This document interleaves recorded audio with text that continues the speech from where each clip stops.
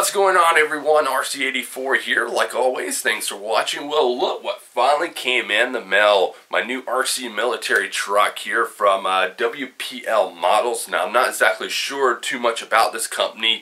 Uh, I do know they're a China-based company, so don't expect too much. right? Okay, so I uh, came across this 16 scale military truck. It's a World War II truck, one of my favorite off-road military vehicles other than the Hummer H1, the old Deuce here. Now, let me show you guys this amazing little RC here. And let me shift some light over here so we have some light. Now look at this, guys. Very nice. A lot of amazing detail. This is hard plastic body just a lot of detail work right into the body itself from the back bed here to the front cab which actually if you look into the cab here oh studio light uh, try to get it there. Alright so as you see inside the cab there I have actual seats the steering wheel the dashboard all in there. There you go. So that's pretty awesome. Got some mirrors here on the side the smokestacks in the back. That's really awesome Got these little cool uh, gas tanks here on the side. Uh, the tires are actual rubber and they can be taken off by just a few screws. Uh, that's really awesome. Um, we got here in the front, it actually has working LED lights, uh, which I'll show you that in just a minute. Now, uh, pop open the hood here. That's where your battery will go in right there, as you see. Alright, so we got that one. Now, let's talk about the undercarriage or the chassis and all. As you can see, it has a nice metal chassis going all the way down the length of the vehicle, which is pretty awesome. And let me adjust my light here so we can get some get some light into it. So look at the undercarriage here, guys. The chassis is fully, like I said, it has a metal frame chassis, which is pretty awesome. And it is full drive. You see the drive shafts right here. Actual drive shafts, just like my SCX-10 and the uh, uh, the Unimog and all my vehicles have the drive shafts. Full drive. There's the transfer case and the motor. And back there. Now look at this right here. This truck is driven on leaf springs. The suspension is leaf springs. Now I've never actually had an RC vehicle that had leaf springs until now.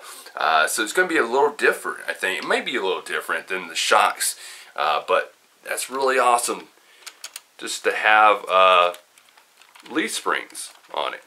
That's pretty cool. So, now I do want to point this out. Look at this right here. A toy grade servo. Wow. so don't expect too much of great turning. Uh, probably going to hear some noise. A lot of uh, these toy grade ones, you'll hear the you know, the sound of it and all that. But uh, hopefully, I don't know. But probably I might well go ahead and upgrade this to a hobby grade servo so that way it won't be so loud and I'll have actual turning ability and it looks like pretty much I can actually do it so it's just going to take some little modifications to make the you know make a servo fit in there and just like convert everything to hobby grade. So that's pretty cool. So we'll, I'll try to do that, but first, before I even do that, I will uh, do a run video of it. Alright, so let me put that truck to the side. We'll talk about the rest of the stuff we have here. Alright, we have the controller, which is a 2.4 gigahertz controller. Very uh, plasticky like. Like I feel like if I drop this thing right now, it would probably break or shatter or crack or something.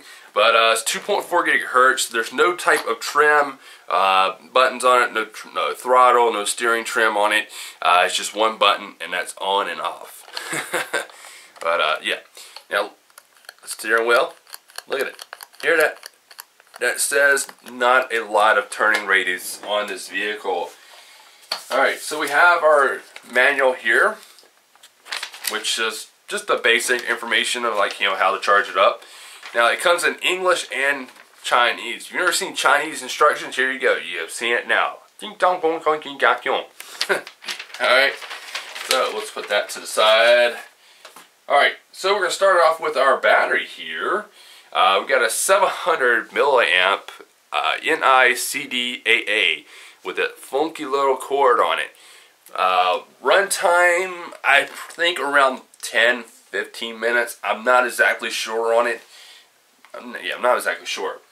But uh, now we have our USB charger, which we can plug this in, into one of our uh, phone chargers or the computer. It's got that little funky end. Whatever these ends are called, let me know, guys. Comment down below. I want to know what these ends are called on these typical batteries.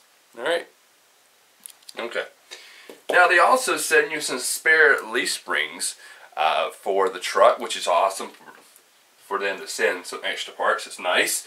Now let's go ahead and take a look at the box. Not much uh, product information in the uh, the vehicle itself or on the box. Uh, it does have this cool little wood crate um, feel to it. but uh, it also shows a picture of the uh, RC and then uh, of course military truck super series 2.4 gigahertz uh, over here it has uh, full wheel drive and then down here it has uh, some information about it.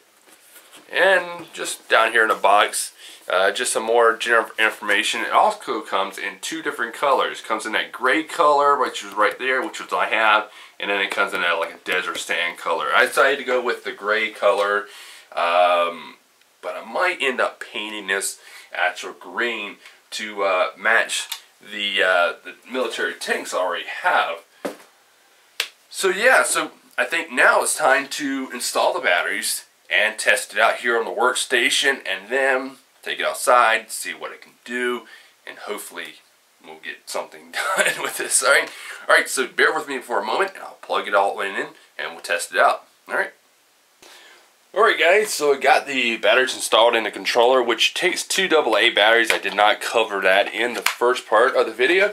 Now uh, let's go ahead and turn on our remote. We got a blinking light saying we got power, and then the power button for the truck is right here. There goes those LED lights. Let me show you that. Pretty cool. Now there's no lights in the rear, which that's okay, that's fine. We got lights in the front, that's nice. So, let's put it here and we'll test it out and see how this thing goes. So let's go ahead. Alright, so, uh, alright.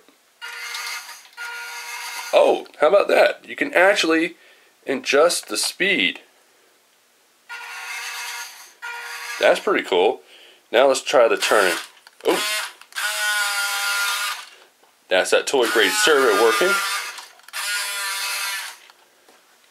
Alright.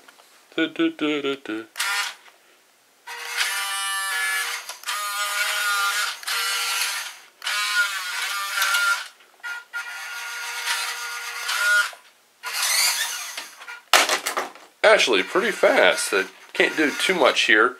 Now, I do see that the rear here needs a lot of weight because it's bouncing around, especially being on those leaf springs. Definitely makes it a little challenging for it. But Actually doing pretty good. Just needs a little weight in the rear.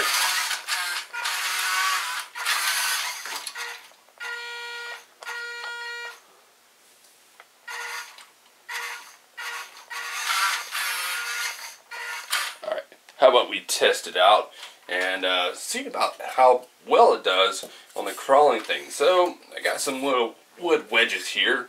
I'm going to test it out and see. Alright. Alright, let's see. Let's go for it.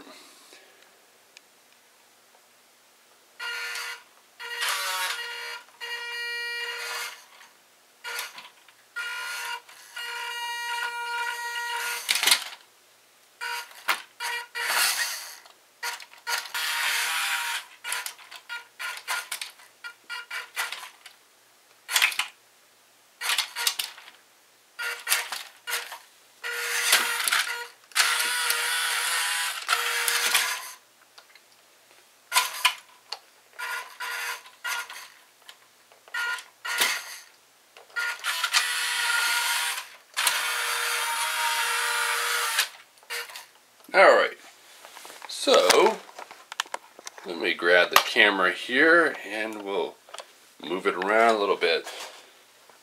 So, not too bad, guys. It actually does pretty good. I mean, it could be better. Uh, definitely with some, probably some upgrade modifications to it, like the motor wise, uh, probably the ESC, the servo. Definitely could make it a good uh, scale crawler. Uh, just with the little modifications, I think it would be a great uh, trail truck. So, uh, yeah. So, uh, yeah.